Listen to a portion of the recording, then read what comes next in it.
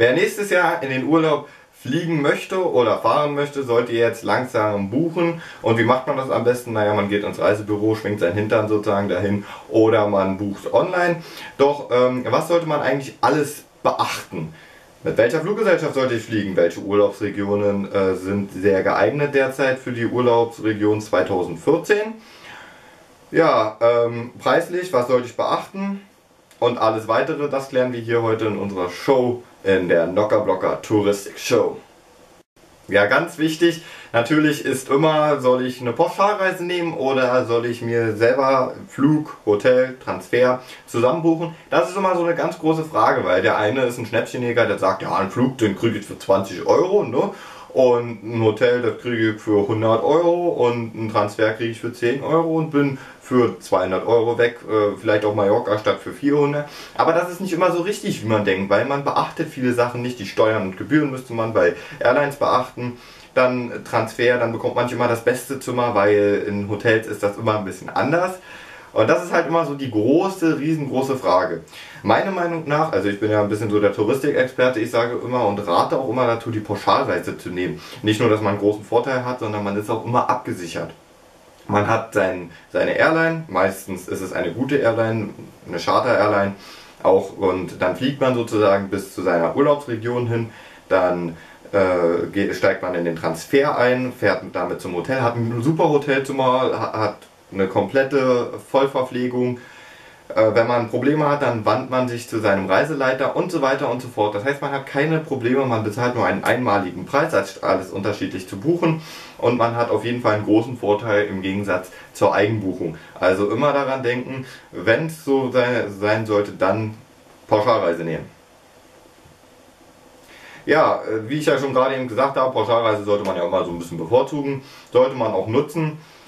Ja, wo sollte man denn seine Pauschalreise buchen? Online oder im Reisebüro? Das ist immer so ein riesengroßer Unterschied. Es gibt ja mehrere Online-Plattformen, die sowas anbieten, wie zum Beispiel abindenurlaub.de.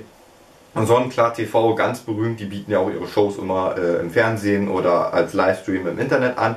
Meiner Meinung nach würde ich sagen, ähm, das kommt immer darauf an, wo ihr hinfahren, fliegen wollt. Wenn ihr weit weg fliegen äh, wollt, dann solltet ihr auch mal online. Also es ist immer ganz gut vergleichen. Das ist wie, ich möchte mir ein Spiel oder eine Konsole oder einen Computer oder irgendwas kaufen.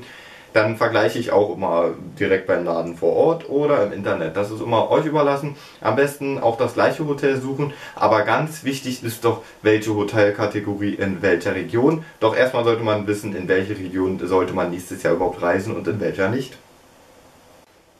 Ja, das sind wunderschöne Urlaubsregionen, die ihr gerade gesehen habt. Was ich euch gezeigt habe, ist natürlich Spanien, Portugal, also generell Europa, Italien ist auch mal ganz schön, Bella Italia, ne? Und auf jeden Fall Türkei lohnt sich immer. Wo man ein bisschen aufpassen sollte, ist vor allem äh, Tunesien und Ägypten. Ägypten ist dadurch durch diese vielen äh, Auseinandersetzungen in der Hauptstadt sowie in anderen größeren Städten immer sehr gefährdet auch äh, unser deutscher ähm, Auslandsdienst ähm, sagt immer wieder, stellt Warnungen voraus und so weiter. Deswegen sollte man dort immer ein bisschen aufpassen. In Tunesien sollte man auch immer ein bisschen aufpassen. Auf jeden Fall kann ich euch empfehlen, wenn es nach Spanien gehen sollte. Jeder kennt das Urlaubsre äh, die Re Urlaubsregion Nummer 1, Mallorca. Das ist der Hammer. Mallorca, Ballermann, äh, über Millionen fliegen dahin. Das ist die Urlaubsregion für die Deutschen eigentlich, aber auch Kanaren, also vor allem Teneriffa und Fuerteventura sind sehr schöne Regionen. Ibiza kann man sich auch angucken, also jetzt nochmal zurück auf die Balearen.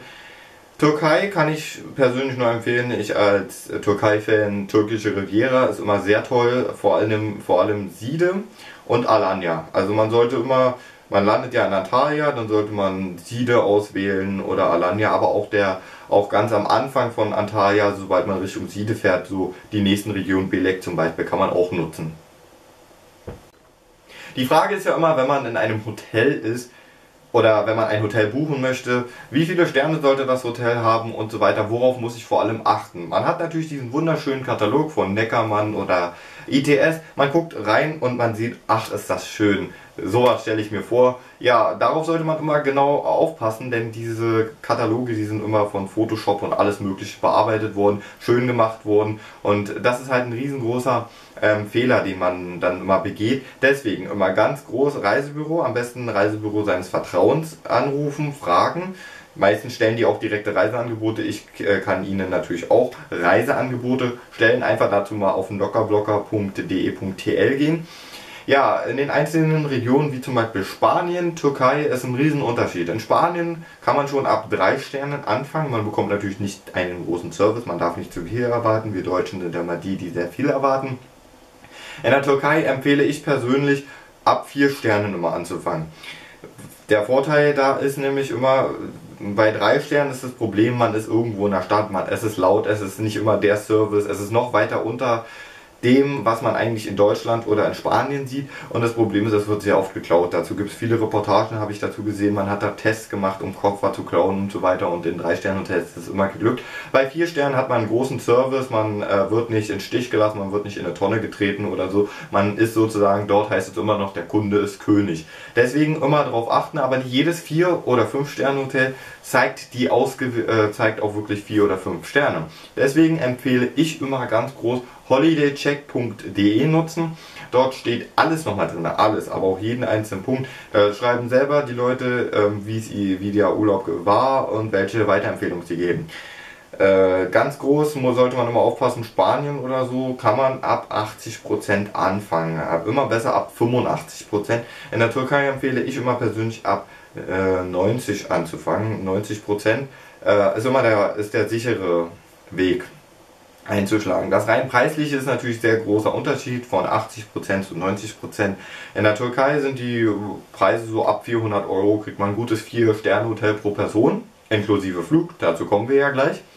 In Spanien geht es ab 400 Euro mit einem Mittelklasse-Hotel los, also ab 500, 600 Euro ist es los. Ich persönlich finde mittlerweile Spanien sehr ausverschämt. Ich habe letztens verglichen, weil ich vielleicht ja nächstes Jahr mal nach Mallorca wollte wieder weil ich finde, Mallorca ist eine schöne Insel, es gibt viel Kultur, aber auch Party und so weiter. Gut, Party ist nebensächlich. Ich bin da eher zum Sonnen, Chillen und so weiter.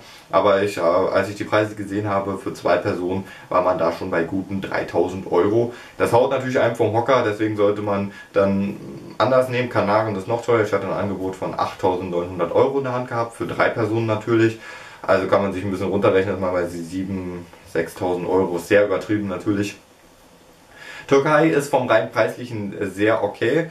Äh, pro Person 862 Euro hatte ich dort. Ein sehr gutes 4-Sterne-Hotel mit 96% Weiterempfehlung und äh, Flug und so weiter. Zwei Wochen natürlich all inclusive. Aber zu den Angeboten kommen wir natürlich dann nächste Woche in unserer Show. Doch jetzt ist erstmal ganz wichtig, ihr wisst jetzt, welche Hotelkategorien ihr nimmt. Und jetzt kommen wir zu den Airlines.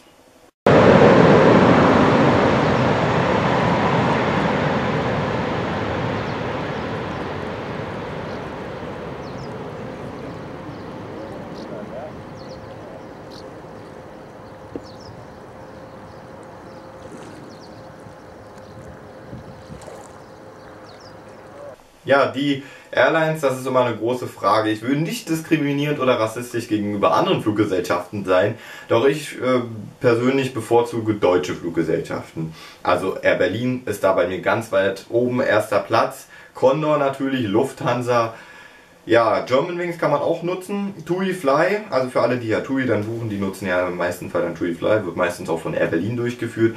Aber letztendlich kann man jede Fluggesellschaft hier in Europa nutzen, denn immerhin EU ist sehr streng, was Sicherheitsvorkehrungen angeht und deswegen, und äh, sonst würde es ja hier keine Charter-Airlines geben, die unterm Niveau sind. Natürlich bei türkischen Fluggesellschaften, Atlas Jet, Corendon und so weiter, hat man keine Unterhaltung, man ist da sehr alleine. Also wenn man dann so eine Airline abbekommen sollte, empfehle ich immer persönlich, wenn ihr ein Smartphone habt oder ein Tablet, ladet euch einen Film irgendwie rauf oder nutzt eine DVD oder irgendwie und guckt es euch dort an, dann, weil das ist das Einzige, was ich persönlich empfehlen kann. Sonst langweilt man sich. Also ich bin auch schon mit Sky Airlines geflogen, die sind mittlerweile ja pleite und äh, bin da fast eingeschlafen, Musik gehört, eingeschlafen. drei Stunden, das ist wirklich sehr lang in die Türkei dann. Ansonsten natürlich nach Spanien. Ihr könnt auch Billigfluggesellschaften nehmen, aber ich sage euch nur eins, passt immer bitte auf die Billigfluggesellschaften auf. Die versuchen euch abzuzocken und so weiter. Ryanair ist ein ganz sehr äh, gutes Beispiel.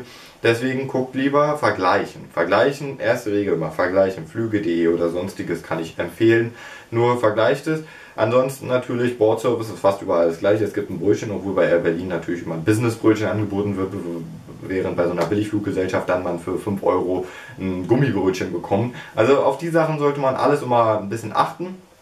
Letztendlich kann man jede Fluggesellschaft nehmen. Ich persönlich bevorzuge halt immer die deutschen Fluggesellschaften. Aber jeden das seine, wenn er meint, ja, türkische Fluggesellschaften oder griechische Fluggesellschaften oder spanische Fluggesellschaften sind besser als jeder andere, dann nutzt die. Aber wenn ihr Reiseangebote auch von eurem Reisebüro bekommt, ja, dann immer ein bisschen darauf achten. Da steht dann meistens geplant mit und dann irgendeine Airline geht ins Internet, guckt euch die Airline an. Wenn ihr sagt, nee, möchte ich lieber nicht haben, dann ähm, Reisebüro anfragen. Meist haben die jetzt noch um diese Zeit im Dezember haben sie noch ganz gute Flüge parat. Ähm, dann müsst ihr natürlich drauf zahlen. Das sind dann meistens bei Lufthansa sind das schon 350 Euro für einen Flug in der Türkei, Aufpreis höher. Dann ist man natürlich schon äh, sehr weit oben, aber man sollte immer auf diese Sachen sehr doll aufpassen. Ja, wenn ihr das jetzt alles habt, dann seid ihr natürlich sehr zufrieden. Immer darauf achten, es, äh, viele Reiseveranstalter, Neckermann und so weiter, bieten Frühbucherrabatt an. So 18 bis 40 Prozent geht das wirklich hoch, bis zu 40 Prozent kann man sparen. Also immer darauf auch noch achten, Frühbucherrabatt, möglichst vergleichen, wenn ihr ein Hotel gefunden habt, dann habt ihr das alles. Frühbucherrabatt ist sehr wichtig, weil wenn ihr sehr spät bucht oder erst Last Minute, Last Minute ist meist sehr teuer im Gegensatz zu Frühbuchern. Also lieber mehr Vorfreude haben, als äh, später auf die Fresse landen. Ja, das war unsere erste Show. Ich hoffe, sie hat euch natürlich sehr doll gefallen und ihr habt jetzt alles beachtet. Das heißt, ab schnell ins nächste Reisebüro. Außer ihr habt absolut überhaupt keinen Plan, dann könnt ihr das gerne in die Kommentare schreiben. Auch wenn ihr gerne andere Videos haben wollt, oder andere Urlaubsregionen, die ich vorstellen soll, dann schreibt es ebenfalls in die Kommentare. Sucht die Urlaubsangebote, geht auf www.knockerblogger.de.tl. Dort äh, könnt ihr auf Kontakt gehen, schreibt euer Wunschziel rein. Ich suche euch die besten Angebote raus, damit ihr auch wirklich zum billigsten Preis reisen könnt. Und natürlich abonnieren klicken, wenn euch das Video so hammermäßig gefallen hat. Für alle Facebook-Freunde, Facebook-Seite Knockerblocker. Dort könnt ihr auf Gefällt mir klicken, da poste ich auch regelmäßige Angebote drauf. Und ansonsten, wir sehen uns beim nächsten Mal, wenn euch die Show gefallen hat. Und bis dahin, ciao!